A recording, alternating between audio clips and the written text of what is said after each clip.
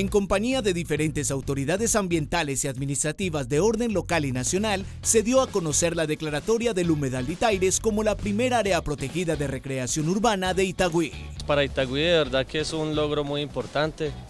y es la oportunidad para iniciar agradeciendo a todos los actores que hicieron posible que este sueño hoy sea entonces un gran regalo para toda la ciudad.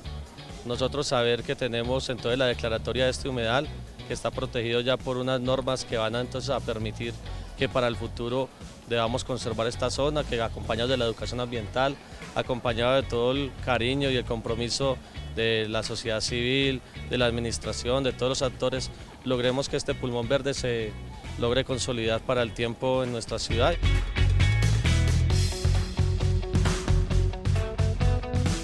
Esto es un verdadero ejercicio de conservación de la biodiversidad y la invitación es a que cuando las familias y los ciudadanos y las personas y los seres humanos vengan a visitarlo, pues que no dejen el desastre y la tragedia acá, sino que lo disfruten, lo apropien y obviamente lo sigan conservando.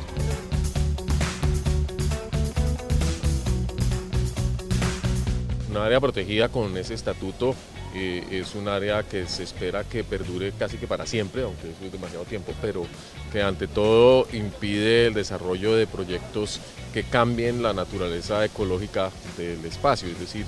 si ya hay un verde urbano, si ya hay un, bosque mm, protegido o unas especies protegidas, nada que eh, interfiera con la condición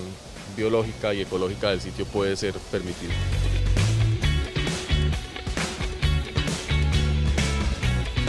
Esta decisión blinda ambientalmente al humedal de Taires, pues a futuro ninguna modificación del plan de ordenamiento territorial o cambio de administración podrá alterar este espacio.